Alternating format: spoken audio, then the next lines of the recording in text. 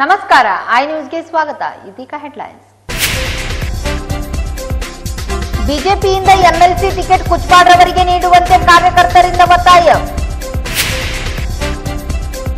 ಹೊಸ ಶಿಕ್ಷಣ ನೀತಿ ವಿರೋಧಿಸಿ ಮತ್ತು ವಿದ್ಯಾರ್ಥಿಗಳಿಗೆ ಉಚಿತ ಬಸ್ ಪಾಸ್ ವಿತರಿಸುವಂತೆ ಆಗ್ರಹಿಸಿ ಎಐಡಿಎಸ್ಒನಿಂದ ಪ್ರತಿಭಟನೆ.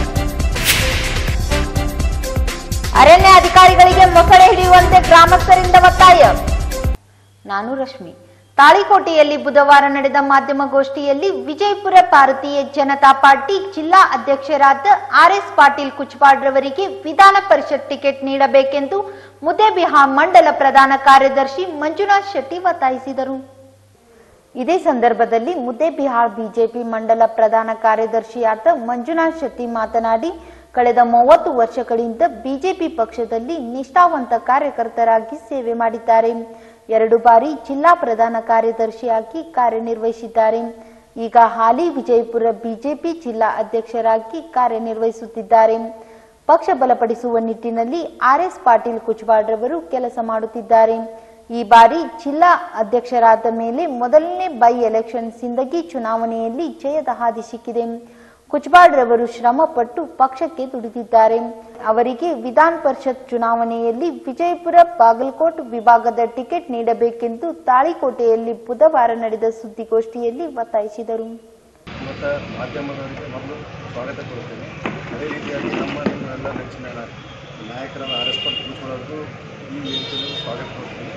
ಮತ್ತು ಈ ಹಿರಿಯರಾದಂಥ ನಮ್ಮ ಕಾಶಿನಾಥ್ ಮುರಾಲ್ ಅವರು, ಜಿಲ್ಲಾ ಕಾರ್ಯಕ್ರಮ ಸದಸ್ಯರು, ಅವ್ರಿಗೂ ಸ್ವಾಗತ ಕೊಡುತ್ತೇನೆ ಹಾಗೂ ನಗರ ಘಟಕ ಅಧ್ಯಕ್ಷರಾದ ರಾಘವೇಂದ್ರ ಚವ್ಹಾಣ್ ಅವರಿಗೂ ಸ್ವಾಗತ ಕೊಡುತ್ತೇನೆ ಅದೇ ರೀತಿಯ ರವಿ ಕಟ್ಟಿಮನಿ ಆಶ್ರಯ ಕಮಿಟಿ ಮೆಂಬರ್ ಆದಂಥ ಅವರಿಗೂ ಸ್ವಾಗತ ಕೊಡುತ್ತೇನೆ ನಮ್ಮ ಪ್ರಧಾನ ಕಾರ್ಯದರ್ಶಿ ಮಂಡಲ ಯುವ ಮೋರ್ಚಾದವರಾದ ಈಶ್ವರ್ ಹುಗಾರರಿಗೂ ಸ್ವಾಗತ ಕೊಡುತ್ತೇನೆ ಹಾಗೂ ನಮ್ಮ ಮುಖಂಡರಾದ ರಾಮಣ್ಣ ಜಗತಾಪ್ ಮತ್ತು ವಿಠಲ್ ವೈದ್ಯ ಅವರಿಗೂ ಸ್ವಾಗತ ಕೋರುತ್ತೇನೆ.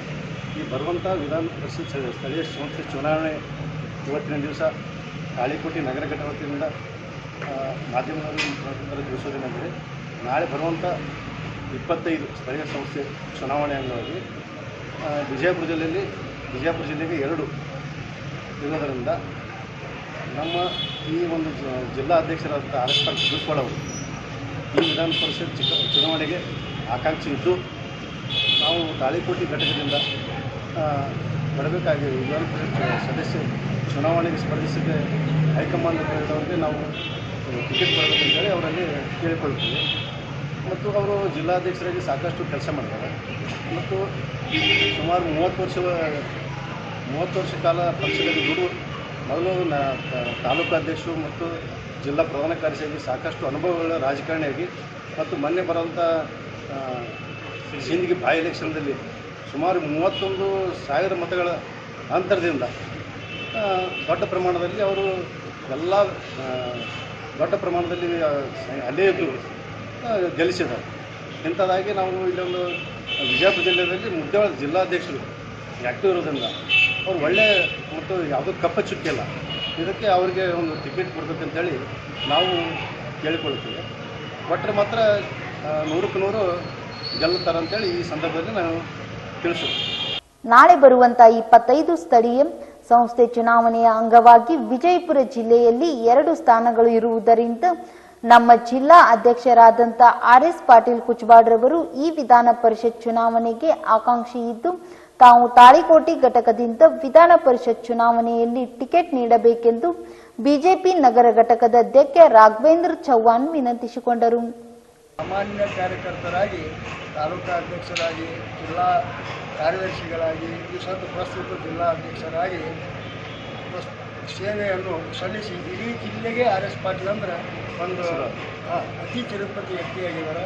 ಈಗಾಗಲೇ ನಮ್ಮ ತಾಲೂಕು ಕಾರ್ಯದರ್ಶಿ ಹೇಳಿದಂಗೆ ಸಿಂದಗಿ ಚುನಾವಣೆ ಒಳಗೆ ಮೂವತ್ತೊಂದು ಸಾವಿರ ಮತಗಳ ಅಂತರದಿಂದ ನಮ್ಮ ಕ್ಯಾಂಡಿಡೇಟ್ ಕೂಸನೂರು ಆರಿಸ್ಬೇಕಾದ್ರೆ ಜಿಲ್ಲಾಧ್ಯಕ್ಷರ ಶ್ರಮನೂ ಭಯಂಕರ ಅದರೊಳಗೆ. ಮತ್ತು ಜಿಲ್ಲಾಧ್ಯಕ್ಷರು ಭಾಳ ಯುವಕರಿದ್ದು ಮತ್ತು ಅಷ್ಟೇ ಸದಾ ಚಟುವಟಿಕೆಯಿಂದ ಪಕ್ಷದ ಕಾರ್ಯಕೆಲಸಗಳನ್ನು ಮಾಡುತ್ತಾ ಸಾಮಾನ್ಯ ಕಾರ್ಯಕರ್ತರೊಂದಿಗೆ ಇಡೀ ಆತ್ಮೀಯತೆಯಿಂದ ಬೆಳ್ಕೊಂಡು ಅವರಲ್ಲಿ ಅಹಂಕಾರವೂ ಒಂದು ಒಂದು ಅಕ್ಷರಸತೆ ಇಲ್ಲ. ಅಂಥವರು ಇವತ್ತಿನ ಒಂದು ಮುಂಬರುವಂಥ ಎಂ ಎಲ್ ಸಿ ಚುನಾವಣೆಗೆ ನಮ್ಮ ಹೈಕಮಾಂಡ್ ಅವರು ಟಿಕೆಟ್ ಕೊಟ್ಟಿದ್ದೇ ಆದರೆ ಅವರು ಪ್ರಚಂಡ ಬಹುಮತದಿಂದ ಜೈವೇರಿ ಬರ್ತಾರೆ.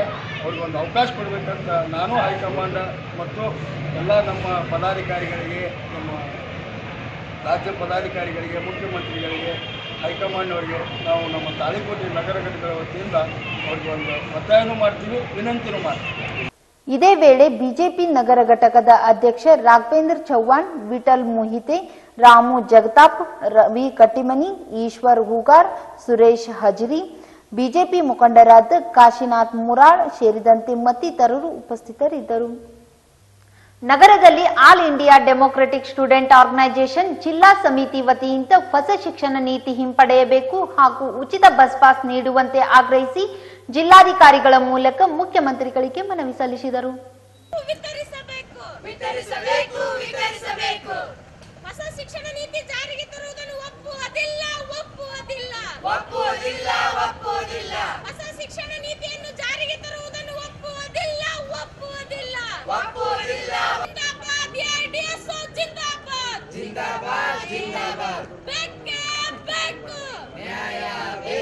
ನಂತರ ಐ ನ್ಯೂಸ್ನೊಂದಿಗೆ ವಿದ್ಯಾರ್ಥಿನಿಯಾದ ಕಾವೇರಿ ಮಾತನಾಡಿ, all India democratic student organisation ನೇತೃತ್ವದಲ್ಲಿ ಇವತ್ತು ಎಲ್ಲಾ ವಿದ್ಯಾರ್ಥಿಗಳಿಗೂ ಕೂಡ ಉಚಿತ ಬಸ್ ಪಾಸ್ ಕೊಡಬೇಕು. ಇದರ ಜೊತೆಗೆ ಕೇಂದ್ರ ಸರ್ಕಾರ ಏನು ಹೊಸ ಶಿಕ್ಷಣ ನೀತಿ ಜಾರಿಗೆ ತರುತ್ತಿದೆ, ಇದನ್ನು ವಾಪಸ್ ತೆಗೆದುಕೊಳ್ಳಬೇಕು. ಈಗ ನಾಲ್ಕು ವರ್ಷ ಪದವಿ ಕೋರ್ಸ್ ಮಾಡಿದ್ದಾರೆ. ಎಲ್ಲಾ ವಿದ್ಯಾರ್ಥಿಗಳಿಗೂ ಉಚಿತ ಬಸ್ ಪಾಸ್ ನೀಡಬೇಕು.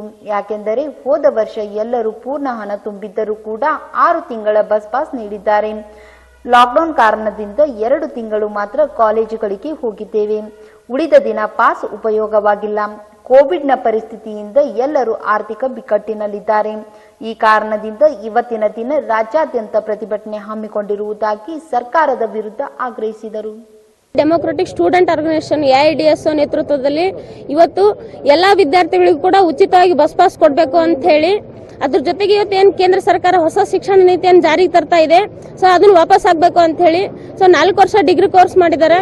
ಅದ್ರ ಜೊತೆಗೆ ಇವತ್ತು ಎಲ್ಲ ಸ್ಟೂಡೆಂಟ್ಸ್ ಕೂಡ ಫ್ರೀ ಆಗಿ ಬಸ್ ಪಾಸ್ ಕೊಡಬೇಕು ಅಂತ ಹೇಳಿ. ಯಾಕಂತಂದ್ರೆ ಹೋದ ವರ್ಷ ಏನು ಸ್ಟೂಡೆಂಟ್ಸ್ಗಳು ಪೂರ್ತಿ ಅಮೌಂಟ್ ತುಂಬಿದ್ರು ಬಟ್ ಆರು ತಿಂಗಳ ಪಾಸ್ ಅನ್ನು ಕೊಟ್ಟಿದ್ರು. ಅದ್ರ ಜೊತೆಗೆ ಈ ಲಾಕ್ಡೌನ್ ಕಾರಣದಿಂದ ಒಂದ್ ಎರಡು ತಿಂಗಳು ಅಷ್ಟೇ ಕಾಲೇಜ್ಗಳಿಗೆ ಹೋಗಿದ್ದಾರೆ ಉಳಿಕಿದ ಪಾಸ್ ಯೂಸ್ ಆಗಿಲ್ಲ. ಈ ಕೋವಿಡ್ ಸಂಕಷ್ಟದಿಂದ ಏನು, ಎಲ್ಲಾ ವಿದ್ಯಾರ್ಥಿಗಳು ಆರ್ಥಿಕ ಪರಿಸ್ಥಿತಿಯೊಳಗ, ಬಿಕ್ಕಟ್ಟಿನೊಳಗದಾರ.